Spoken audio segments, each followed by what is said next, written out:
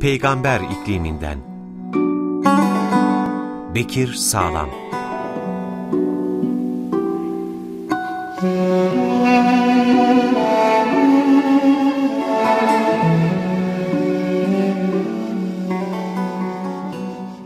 Rahman ve Rahim Allah'ın adıyla. Hamd, alemlerin Rabbi olan Allahu Teala'yadır. Selat ve selam Peygamber Efendimiz'e, şerefli ailesine ve şerefli arkadaşların üzerine olsun. Değerli kardeşlerim, Peygamber sallallahu aleyhi ve sellemin hallerinde, davranışlarında daima yüksek anlamlar görmekteyiz. Efendimizin halleri hikmetle donanmış haller cümlesindendi. Peygamber sallallahu aleyhi ve sellem Mekke dönemi davetinde büyük zorluklar yaşamıştı. Bu durumu kızı Fatıma'sı radıyallahu anh'a şöyle dillendiriyordu.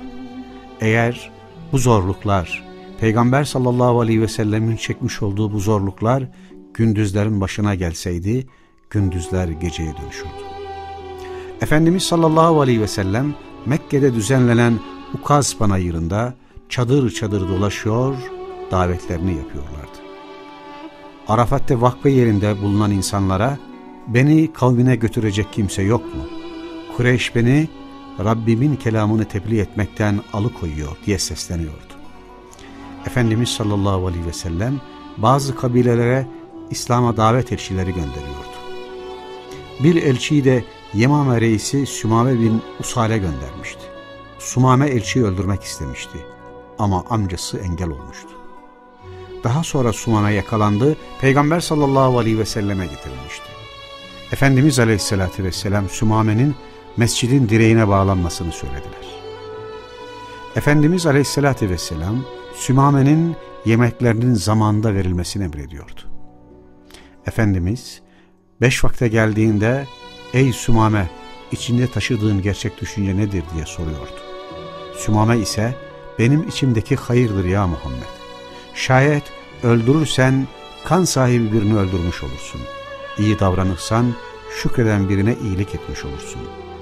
Eğer diyet karşılığında mal istiyorsan hemen dile sana dilediğin kadar mal vereyim. Peygamber sallallahu aleyhi ve sellem geçiyor, namazını kılıyor, kıldırıyordu. Ertesi gün Peygamber sallallahu aleyhi ve sellem ile Sümama arasında benzer konuşmalar geçiyordu. Üçüncü gün, dördüncü gün derken Sumame'yi Peygamber sallallahu aleyhi ve sellem serbest bırakılmasını emrediyordu. Sumame serbest bırakıldıktan sonra Medine dışına çıkıyor, Medine bahçelerinden bir bahçede boy abdesti alıyor, tekrar Medine'ye dönüyor, Müslüman oluyordu. Ve Sumame şöyle diyordu Peygamber sallallahu aleyhi ve selleme, Ey Allah'ın Resulü, az öncesine kadar yeryüzünde senin yüzün bana en sevimsiz olandı. Şimdi ise yeryüzünde senin yüzün kadar sevgili bir yüz yoktur benim için. Sumame Mekke-i Mükerreme'ye vardı. Müslüman olduğunu ilan etti. Mekkeliler ise Sümame'yi linç etmek üzere yürüdüler. Mekkelilerden biri şayet onu öldürürseniz Yemame'nin hububatını bir daha göremezsiniz diyordu. Mekke-i Mükerreme'nin buğday ambarı Sumame'nin reis olduğu Yemame beldesiydi. Sumame de şöyle diyordu. Allah'a yemin ediyorum Peygamber aleyhissalatü vesselam izin verirse ancak size hububat verebilirim. Sumame hangi nedenlerle İslam'a koşmuştu? Sumame'yi İslam'ın bağrına çeken cazibe neydi?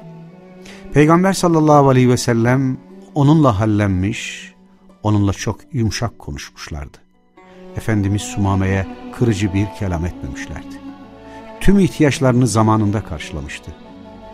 Efendimiz Aleyhisselatü Vesselam özellikle Sümame'nin Müslümanların ibadet hallerini görmesi, Müslümanların kardeşliklerini görmesini istemişti. Sümame'yi İslam olacaksın diye zerrece zorlamamıştı Peygamber sallallahu aleyhi ve sellem. Daha sonra İslam'a yönelmediğini fark edince Efendimiz Sümame'yi serbest bırakmışlardı. Oysa aynı durum Sümame'nin eline geçseydi kesinlikle Peygamber aleyhissalatü vesselam'ı öldüreceğini adı gibi biliyordu. Bu yüksek insanlık karşısında Sümame'nin içi İslam'a karşı çözülüyor ve İslam'a koşuyordu. Peygamber sallallahu aleyhi ve sellemin o yüksek ahlakı biraz düşünebilen her insan için içinin yavaş yavaş çözülüşüne ve kalbinin İslam'a doğru akışına tanık oluyorduk. Efendimiz sallallahu aleyhi ve sellem üç yıl gizli gizli insanlığı Allah'a davet ediyordu. Daha çok dostlarını yakın akrabalarından çok içli olduğu, sırdaş konumunda olduğu insanlara İslam'ı anlatıyordu. Üç yıl sonra Safa Tepesi'nden Mekkelilere sesleniyordu. Mekkeliler için bir gelenekti. Mekke sakinlerinden çok önemli bir şey söyleyenler Safa Tepesi'ne çıkar, Mekkelilere seslenirlerdi. Efendimiz sallallahu aleyhi ve sellem Safa Tepesi'ne çıkmışlardı. Bir bir kavimlerin, kabilelerin ismini çağırıyordu. Ey Führe oğulları, ey Adi oğulları, şu tepenin arkasında sizlere saldırmaya hazır bir ordunun olduğunu söylesem bana inanır mısınız diyordu. Mekkeliler ise inanırız. Zira sen asla yalan söylemezsin. Sen Muhammedül Emin'sin diyorlardı. Peygamber sallallahu aleyhi ve sellem ise ondan daha şiddetlisini haber veriyorum. Her biriniz uyur gibi öleceksiniz ve uyanır gibi dirileceksiniz. Şu yaşadığınız hayattan hesap vereceksiniz. Ebu Leheb yazıklar olsun sana. Bizi bunun için buraya topladın? Peygamber sallallahu aleyhi ve sellem konuşmasına devam buyuruyorlardı. Ey Kureyş topluluğu kendinizi ateşten koruyun.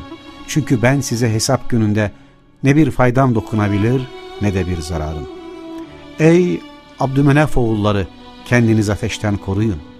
Size fayda ve zarar verebilecek bir gücüm yoktur. Ey Kusey oğulları, ey Abdülmuttalip oğulları, ey Muhammed'in kızı Fatıma kendinizi ateşten koruyun. Zira size ne fayda ne de zarar verebilecek bir gücüm yoktur.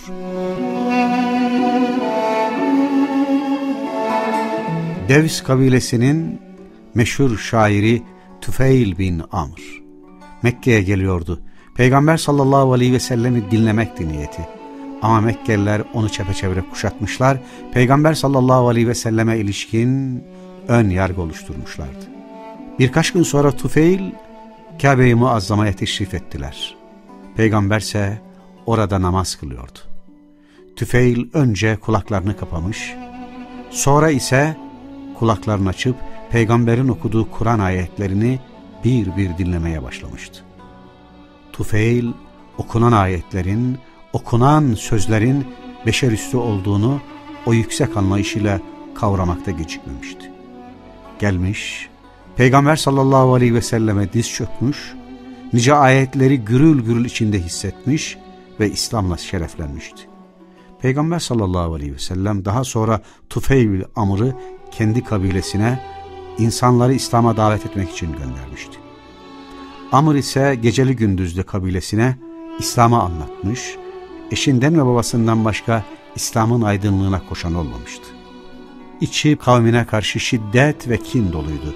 Diyordu ki Peygamber Efendimiz'e, ey Allah'ın Resulü, kavmim İslam'a karşı şiddetle karşı duruyor. Onlara beddua et ey Allah'ın peygamberi diyordu. Peygamber sallallahu aleyhi ve sellem ise Allah'ım devüslülere hidayetini nasip eyle, onlara hidayet lütfeyle diyordu.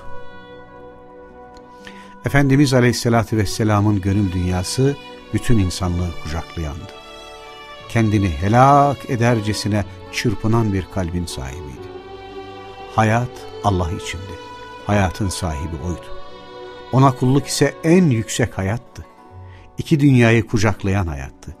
İnsanlarla ilişkide o yüksek hayatın, Müslümanca hayatın çizgileri görülmeliydi. Müslümanca bir hayatta Allah için insanlığı kucaklama vardı. Müslümanca bir hayatta Allah için insanların hallerine katlanmak vardı. Müslümanca bir hayat, olgunca bir hayattı. Değerli kardeşlerim, mümince bir hayatı gerçekleştirebilme dileğiyle. Hoşçakalın. Peygamber ikliminden Bekir Sağlam